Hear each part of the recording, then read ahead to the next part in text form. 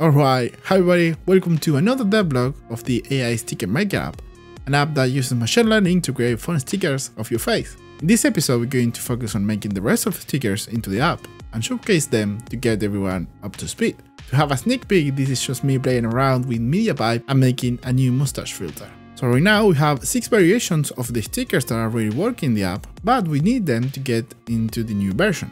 So I did that. It wasn't that difficult since it's the same format as the vanilla sticker, just need to change the request to the server. Now let's do an overview on how the different sticker works and what I've been using to create them. First, let's do a quick pass over the architecture of the client server that I have. So Flutter sends a request with the configuration of a sticker and an attached image. Then in the server, I have an Nginx server running a reverse proxy. This works as a load balancer into four different running apps that are Python servers that handles each request. Okay, with that said, let's talk about the sticker. So the vanilla sticker is the most simple one, given an image of a face. First we make something that I called a face box that crops the image into the face of the person and makes it easier for processing later. Then using a neural network, we segment the face and make a mask with this. Then depending on the settings, we blur the edges or we put a border with a color. This is simply done with OpenCV blur function into the mask and the find contours also in the mask that we created from the segmentation.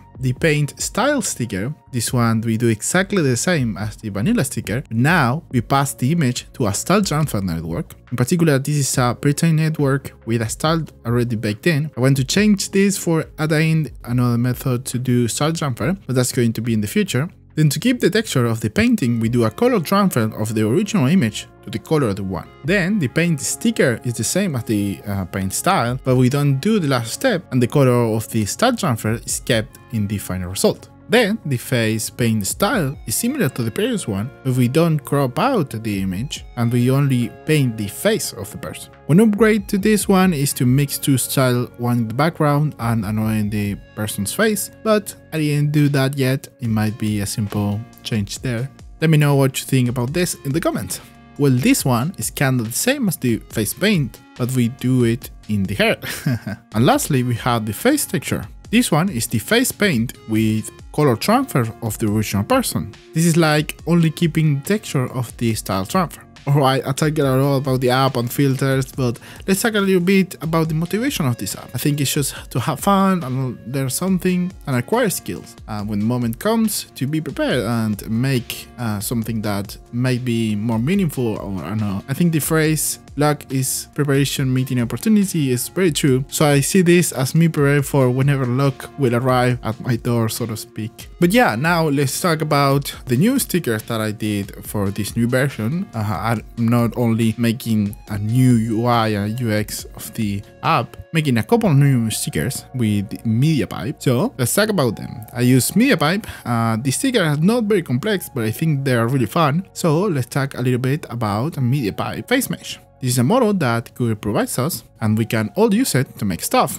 Basically it detects the a face mesh of a person and we can do all sort of stuff with it. I'm going to basically use this and OpenCV perspective transform to put things into people's faces. Right, so let's uh, sort of do an overview of the uh, stickers that I made for this version. First we have the stache sticker. As you saw in the sneak peek, we have this one. We simply use 4 points from the face mesh and 4 points from the mustache image that is hard-coded, meaning I put them myself and using perspective transform, we warp the image into place. Then using the PNG mask that we can open uh, with this option in OpenCV, we merge the two images into one and we have our uh, final result. If you don't know what perspective transform is, we simply need four points four from the source and from for, for the destination and OpenCV calculates a 2D transformation to transform the image and put it in the correct place. I'm using that to uh, manipulate the image that I want and put it uh, in a special position, in this case around uh, in the upper lip of the person. Then we have the angel sticker and the deal with it sticker that we do kind of the same,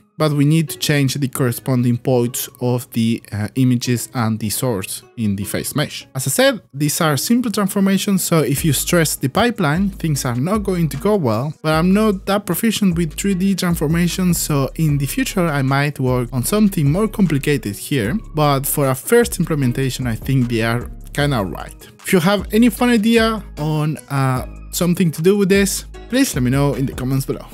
Alright, so I'm working on this uh, sticker, but it's not working. It's supposed to be the devil sticker or something like that. I can't find the, the correct way of uh, warping these horns right here. So um, yeah, working on this. See if I can, I don't know, find a better way of doing this. So let's show this a little bit. So here I import and define my variables. Uh, here it is a, like a test inference for the face mesh. And here we can see the face mesh. The uh, image is actually too big. That's why the dots are really small. Okay, in this one, uh, you can see better the uh, dot. And here I'm doing the warping. As you can see, it's not working uh, correctly right now.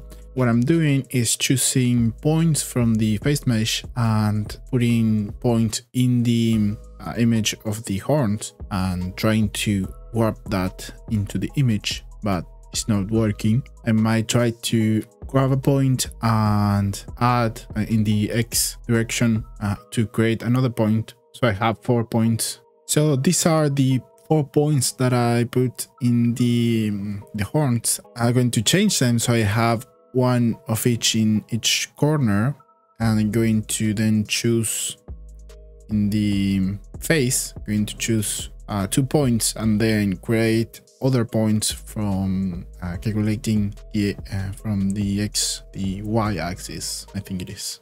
Let's try that and see if that works. I have this sort of tool that i made to um, select the points. Uh, it looks wonky because um, the cv2 image show doesn't show transparency but regardless of that i can click in this image and in the terminal it's going to print the coordinate that I that I need